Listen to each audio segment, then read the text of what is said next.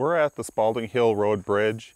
This is where Silver Creek flows into Big Green Lake. Some people refer to the backwaters, the wetlands, the estuary is a popular term. Two, for the area of water, that's the shallow portions between Spalding Hill Road and County Road A. It's kind of a, a weedy, marshy area that's very important to the lake as far as fisheries and water quality, but it does have some uh, problems too because of excess weed growth. And that all is attributed to phosphorus coming in from the uplands. Silver Creek is 11 and a half miles long. It flows through the city of Ripon and through Fond du Lac County, a lot of agricultural lands. About half the water draining into Big Green Lake comes through Silver Creek. It drains approximately 30,000 acres, and an acre is about the size of a football field, so 30,000 football fields worth of runoff is coming through this creek. Silver Creek is a large issue, mostly because of its large watershed. This one stream is draining half of the land running into Big Green Lake. So naturally, that's going to correlate to half the pollutants coming in approximately. The watershed is just anything that's uphill from here. So anything that lands from the rainfall up there is going to carry with any loose dirt or particles, pollutants downstream. It's going to land in a road ditch somewhere eventually and get washed into a smaller stream, into a bigger stream, and eventually end up in the lake. Ripon's about four miles away and has a population of about seven to 8,000 people.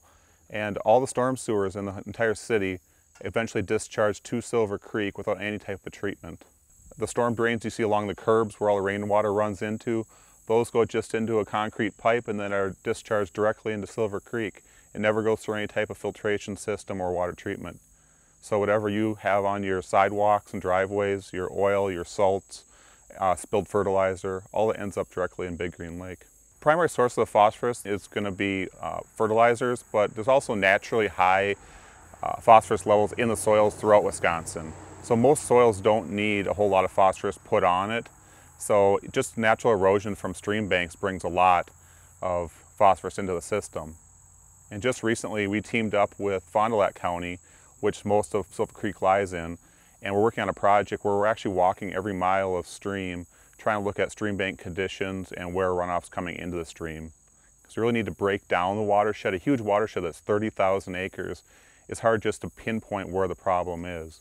So we're really trying to break that down into small chunks and find out, okay, this six acres here is a problem or this 10 acres here, and just do bites at a time until we can really get a handle on the pollution running in. This estuary between Spalding Hill Road and County Road A is a huge filter system, mostly because it can support the plant growth that we need to absorb those, uh, those nutrients. Otherwise, Big Green Lake itself doesn't have a lot of areas that can grow plants because it's just too deep in most areas. So what happens instead, you end up getting algae growth in those deep water areas. The amount of time water spends in a lake is called the residence time. And basically, if you think of it, if you completely drain the lake and just let the streams fill the lake on its own, it would take Big Green Lake between 22 and 27 years to fill up. So the implications of that is if a pollutant goes into the lake, it could be more than 25 years before that pollutant is washed back out.